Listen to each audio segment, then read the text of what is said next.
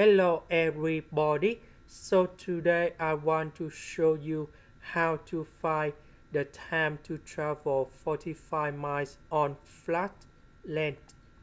The first thing we need to draw the diagram in here.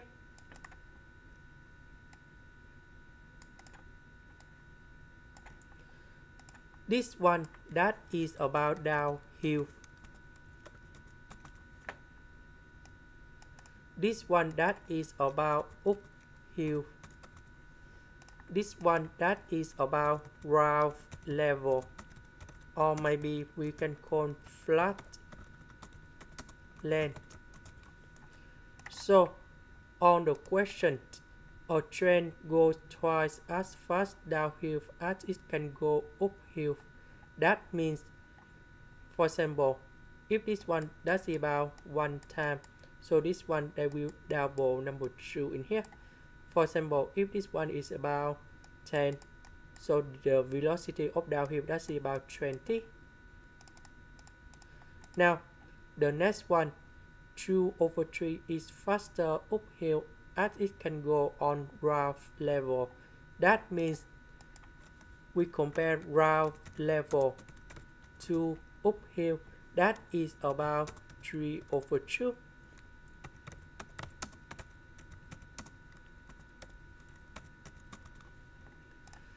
So this one that is about 3 over 2 compared to uphill in here. So on the question, we have 120 miles per hour. So that should be about downhill in here. So if we want to find the uphill, we can use 120 we divide by 2. So the uphill that's about 60 miles per hour because downhill is 2 times uphill. That's why we have 60 now about this one compared to ground level this one is faster than uphill in here. So we have 60 multiplied by 3 over 2 and that is about 90 miles per hour. So the question how long it will take to travel 45 miles on the flat plane that is this one.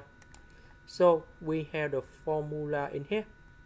Velocity that is about the distance we divide by time. Now we put t go to the left v go to the right. So the dis distance in here that is about 45 and the velocity that's about 90 so we simplify that's about 1 over 2 hour. Or maybe 1 over 2 multiplied by 60 minutes. You will have 30 minutes. And this is the answer. That is the end. Thank you for watching